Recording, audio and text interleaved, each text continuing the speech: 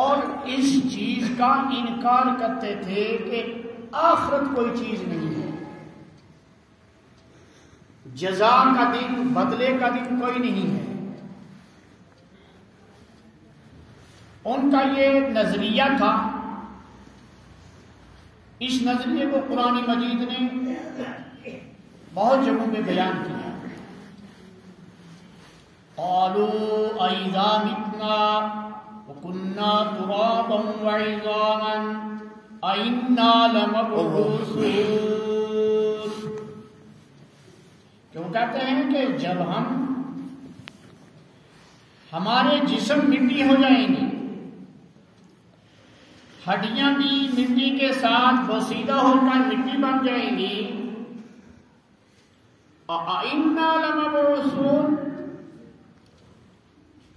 क्या बेअशुबा हम दोबारा उठाए जाएँगे?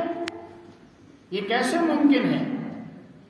ये कुफार का नज़रिया था और मुशरकिन का नज़रिया था। कुरान मजीद ने इस नज़रिया की जा बजा तरदीद की है।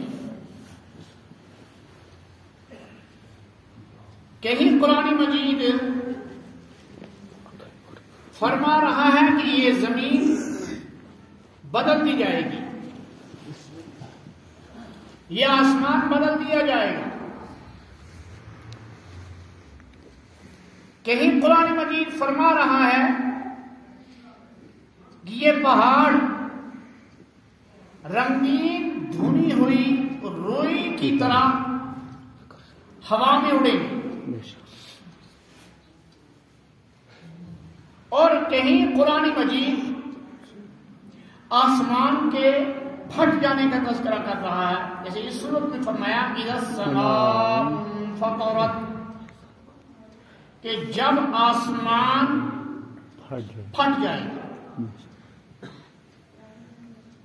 बजाहिर हमारी आँखों में आसमान के अंदर कोई शगाफ नज़र नहीं आता। कोई फटक नज़र नहीं आती। बिल्कुल एक सब्ज चादर गुंबद की शक्ल में बिछा दी गई है। यह आसमान अव्वल है?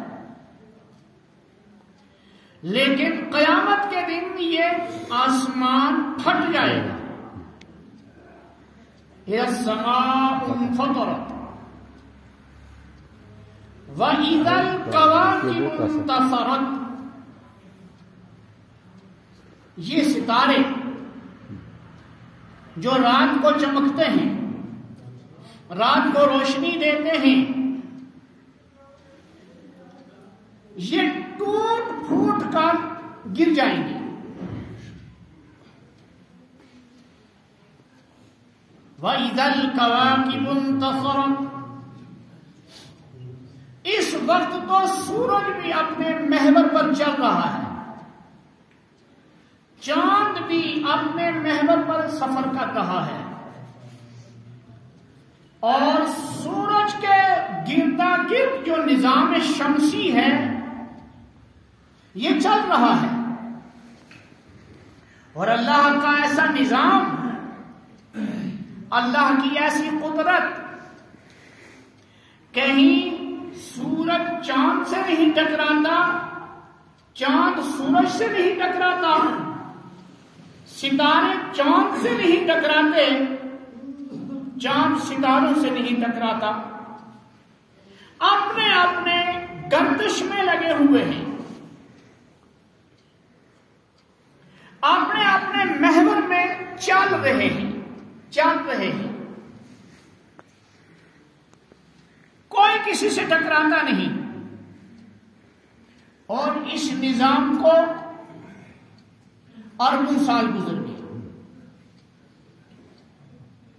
लेकिन अम्बियाए किराम अला नबीना सलाम ने और बिलखसूस मोहम्मद वसल्लम ने और कुरान मजीद ने नज़रिया पेश फरमाया कि सारी की सारी कायनात अपने वक्त पर तरहम बरहम हो जाएगी।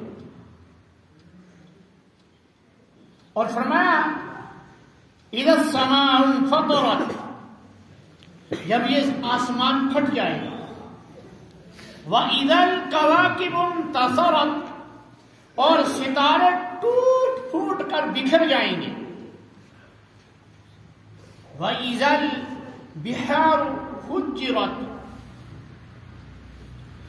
ये नदी नालों का पानी, चश्मों का पानी ट्यूबवेल का पानी ज़मीन की रगू रगू से जो पानी निकल के जा रहा है, बह रहा है, ये सारा का सारा समुद्र में बह रहा है। समुद्रों में मिल रहा है। और समुद्र को अल्लाह ने सुकून दिया है। समुद्र के पानी को अल्लाह ने इतमान दिया है। कहीं ये भी देखने में आया कि खारा पानी अलाहिदा है, मीठा पानी एक साइड से खारा पानी चल रहा है, नमकीन पानी चल रहा है, एक साइड से मीठा पानी चल रहा है। बीच में अल्लाह ने अपनी कुदरत की दीवार कायम कर दी है। खारा पानी मीठे भी नहीं मिलता, मीठा पानी खारे भी नहीं मिलता। कभी ऐसा देखने में भी आता है कि नदी में एक साइड में पानी गंदा चल रहा है। मिट्टी मिला हुआ, रेत मिला हुआ चल रहा है। दूसरी साइड में साफ़ और शफाफ पानी चल रहा है। अल्लाह ने इसके दरमियान दीवार कायम कर दी। और इस हकीकत को